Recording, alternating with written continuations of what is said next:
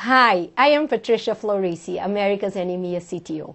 Most importantly, I am a proud EMCer just like you. In this session, we are going to give a brief overview of cluster architectures and explore how it compares to and how it differs from traditional enterprise architectures. Cluster architectures are really emerging as alternative architectures for processing and for analyzing big data and at the economics of cloud. In other words, cluster architectures are being positioned as borrowing important elements of a cloud, primarily affordability, extensibility, scalability, and agility.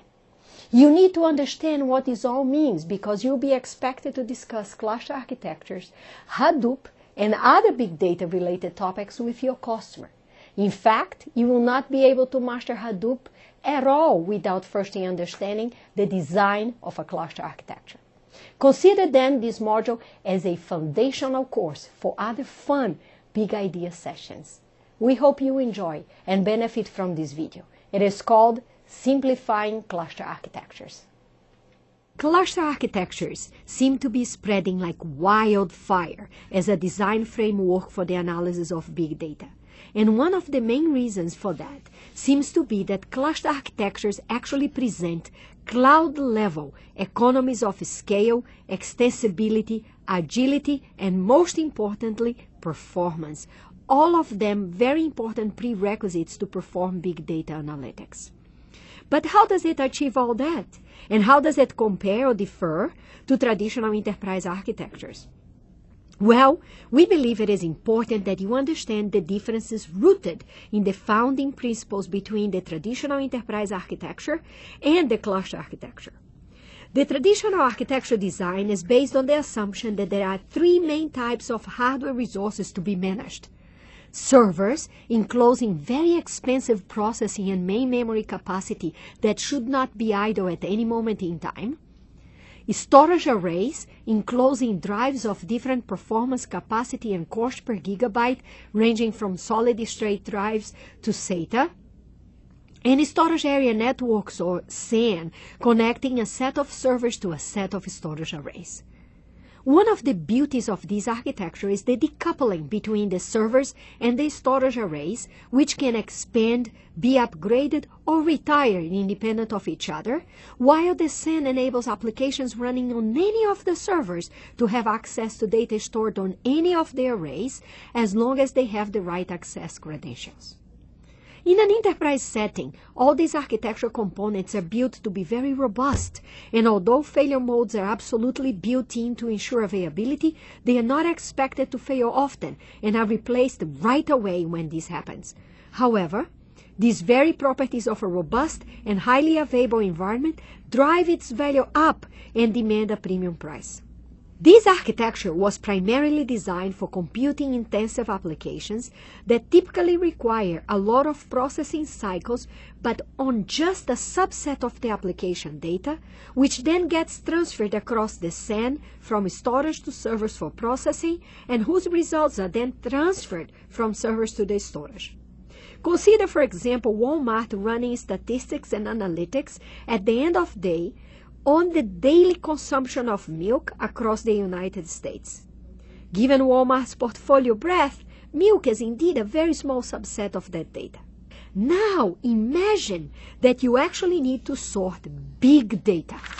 And by sorting, we need to organize the data in a certain order, such as alphabetical order, numerical order, or time-related order. And by big data, we are referring to 20 petabytes of data per day, as it was the case with Google, well, way back when in 2008. In order to sort data, the entire set may need to be examined, and this is a very data intensive operation, especially on 20 petabytes of data a day. Now you may ask why you should care about sorting in the first place and whether or not we could live without sorting at all. Well, consider searching for some information in an unsorted 20 petabyte data set. And you can start imagining the digital version of looking for a needle in a haystack. Sorting is one of the fundamental tasks in computing because once the data is sorted, other operations on the data can be executed orders of magnitude faster, such as searching, merging, and analyzing information. In fact, many believe that as much as 25% of all CPU cycles today are spent simply sorting.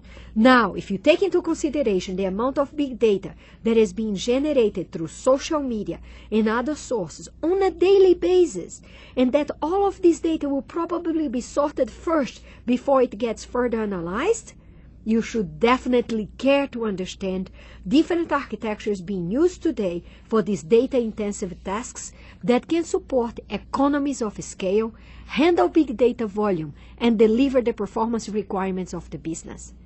And that's what drives us to the cluster architecture. The cluster architecture was designed with some basic principle in mind. One, to capitalize on commodity hardware where processing cores and disk drives are at a cost within the economics of the cloud. Now, here's a metric for you. Penny sort. Penny sort is a sort benchmark that measures the amount of data that can be sorted for, well, you guess, a penny's worth of system time. According to Sortbench, in 2011, the University of Padova in Italy set the penny sort record at 334 gigabytes. And right now, they're saying, give a penny, take a penny, just took 334 gigabytes worth of meaning, or sorting, that is. Two, to enable large scale applications that are big data intensive where computations are often done over the entire data set and not just a subset of it. Consider, for example, a genome-wide association study that analyzes the genome of tens of thousands of individuals looking for specific differences or mutations that could be the cause for a particular disease. Now, keep in mind that a genome consists of a sequence of 3.2 billion characters and now, comparing tens of thousands of 3.2 billion character long sequences, that is big data intensive. And here's another metric for you. Minute sort, a sort benchmark that measures the amount of data that can be sorted in exactly 60 seconds. And according to Sort Benchmark in 2011, the University of California, San Diego broke the minute sort record to 1,353 gigabytes. Three, to address big data requirements which demand high throughput read rate and whose volume can easily render the SAN a bottleneck. And you guessed right, here is yet another metric, gray sort. Gray sort measures the sort rate in terms of terabytes per minute that can be achieved while sorting a very large amount of data. And again, according to Sort Benchmark in 2011, the University of California, San Diego set the gray sort record to almost 1 terabytes per minute at 0.938 terabytes per minute to be precise. And now, that we understand the requirements behind it, let us understand the architecture design.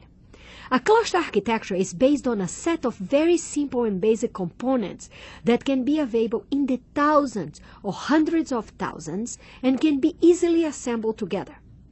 It always starts with a node consisting of a set of commodity processing cores and main memory attached to a set of commodity disks. Then a stack of nodes forms a rack, and a group of racks form a cluster, all connected via high-speed network to enable fast exchange of information. It is important to point out some fundamental principles and benefits of a cluster architecture. First, the architecture is highly modular and scales out beautifully. Keep adding nodes and racks and the capacity keeps increasing.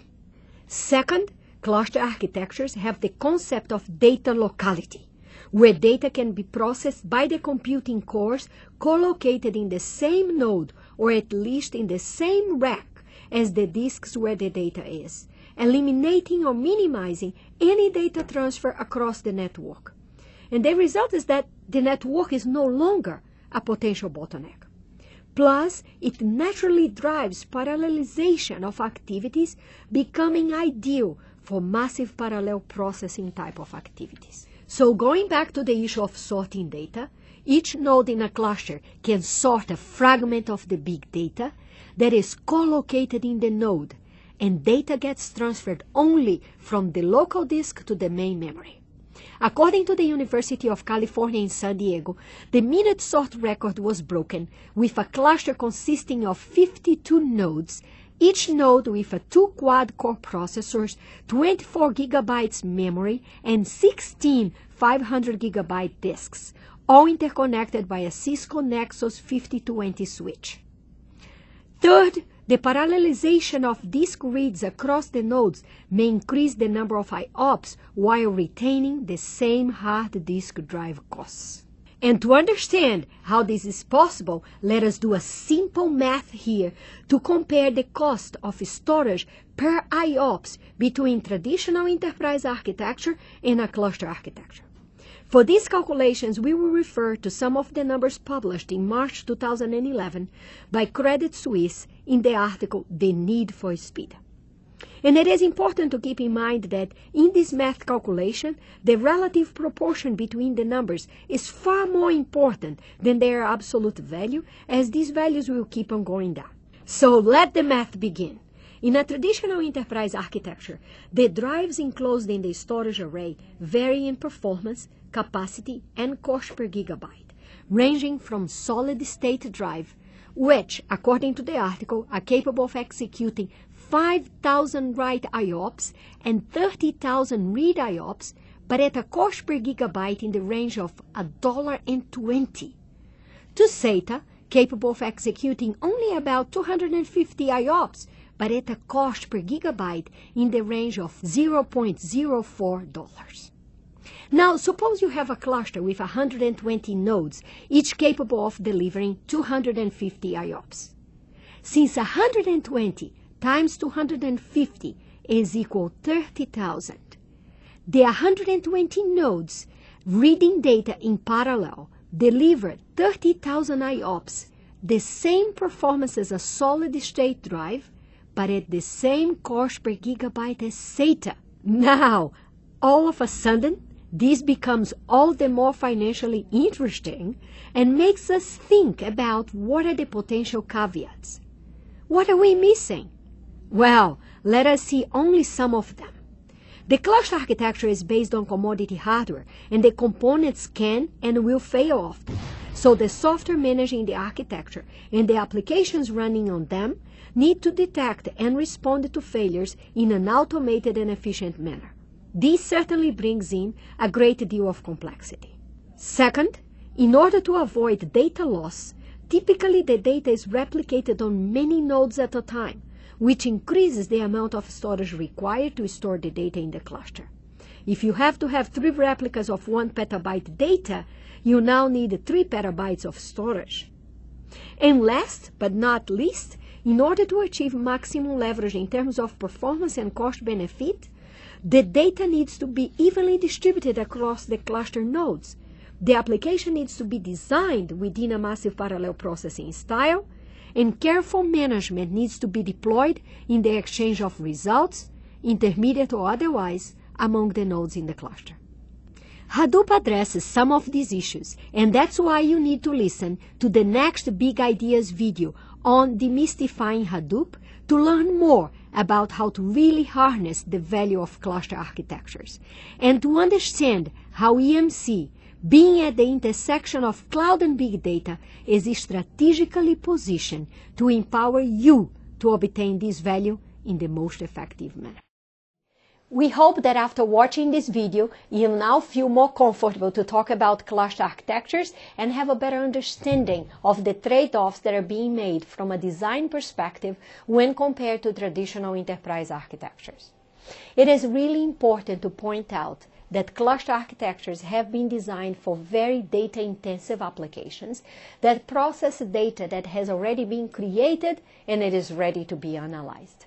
Examples of use of a cluster architecture are things like a staging area between the source systems and the data warehouse, or as the data warehouse itself storing relevant data for the operational and analytical processes of the company. We also see them used as an analytical sandbox in parallel to the production flow involving the data warehouses. As you can see through these examples, cluster architectures were not designed for delivering the performance, availability, and reliability of transactional operations, and certainly not in real time. In fact, cluster architectures adopt more of a batch processing style of execution. As technologists, you and I need to understand the architectural designs available, and we need to take leadership in understanding, analyzing, and explaining how EMC technologies enable our customers to make the best design choices to obtain the biggest value out of big data. Thank you for watching the video. And hey, think big, think data, think big data.